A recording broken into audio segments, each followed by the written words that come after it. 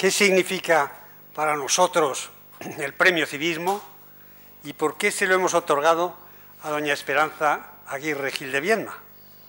Estas preguntas, por lo que hemos visto, tienen más importancia para la sociedad española de lo que pueda parecer. El Centro de Pensamiento Civismo tiene por objeto contribuir a la formación de opiniones ilustradas en la sociedad civil, principalmente a través de los medios de comunicación.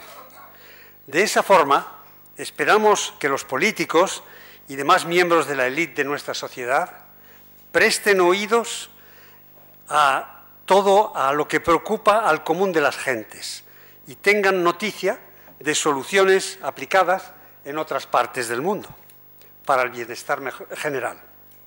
Sin embargo, y gracias a Dios, no todo es política en nuestras sociedades, ni todo es macroeconomía, deberíamos decir hoy. Como defensor que soy de una vigorosa sociedad civil, creo oportuno citar un pasaje de Alexis de Tocqueville en su libro de 1840, La democracia en América. Solo pasó allí 11 meses, pero pudo hacer una radiografía de lo que aquella sociedad era. Dice, los americanos de todas las edades, de todas las condiciones, de todas las mentalidades, se unen constantemente.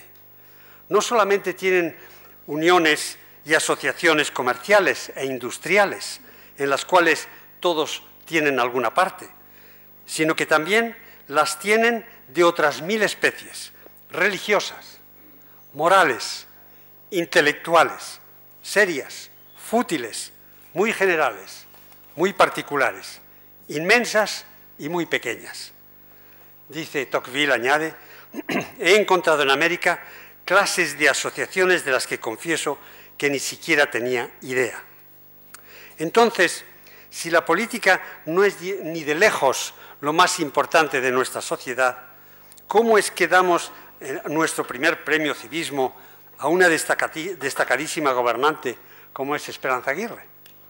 No podría deducirse de lo dicho por Tocqueville que la solución de los males de la patria consistiría en que el común de los mortales nos ocupásemos sobre todo de lo nuestro, de lo que nos interesa, sin prohibiciones ni interferencias enfadosas, y dejáramos la política, la acción política, a nuestros representantes democráticos y la política económica a los especialistas de los bancos centrales y la Comunidad Europea, Dios nos coja confesados. En el think tank civismo no queremos ocuparnos solo de vigorizar la riqueza asociativa de nuestro país. Cuando entregamos, eh, cuando entregamos el primer premio civismo a una gran mujer política como es Esperanza Aguirre, ¿estamos fomentando la sociedad civil? La verdad es que no le damos el premio por nada así civil, ni, ni tampoco por lo bien que juega al golf. En el corazón de nuestras actividades parece latir una paradoja. Queremos fomentar la sociedad civil y, sin embargo, nos ocupamos sobre todo de política. Cierto es que alguien tiene que dedicarse a la labor de embridar la política y devolver la economía a las manos de los individuos. En efecto, si lográsemos que las autoridades nos dejaran, dejaran de entrometerse indebidamente en nuestras vidas y, que, y si consiguiéramos que los grupos de presión sindicales o empresariales se preocuparan de su trabajo, de su negocio, en vez de buscar el favor de los ministros. Si liberásemos la educación de todo adoctrinamiento ideológico, el espacio de la vida civil sería más amplio y nosotros nos sentiríamos satisfechos, nosotros en civismo, satisfechos de nuestra labor. Sin embargo, sin embargo, si nos redujéramos a esa labor de contención de nuestra prosperidad, de, de obsesión con nuestra prosperidad y nuestra prosperidad y libertad correrían un grave peligro.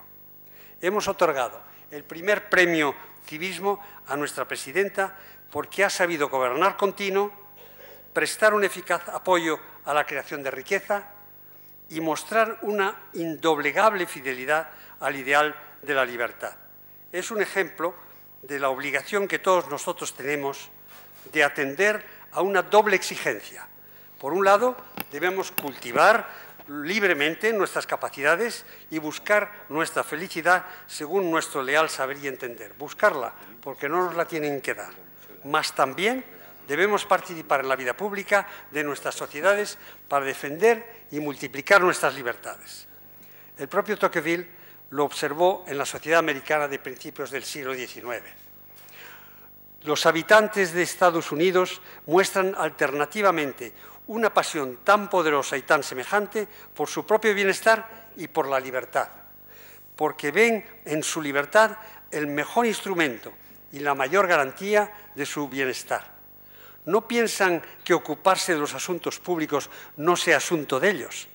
Creen, por el contrario, que su principal tarea es asegurarse a sí mismos un gobierno que les permita alcanzar los bienes que desean y no les prohíba gozar en paz de lo que han adquirido.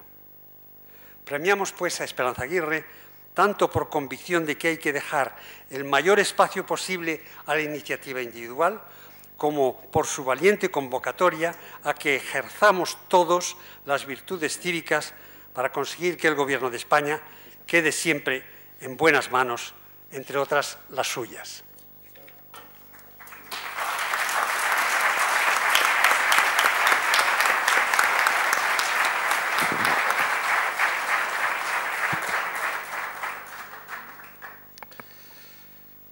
Quienes, quienes creemos eh, en España, en la libertad y en las ventajas que la libertad supone para un país, podemos encontrar con mucha dificultad una persona más adecuada para dirigirnos hoy la palabra que Mario Vargas Llosa.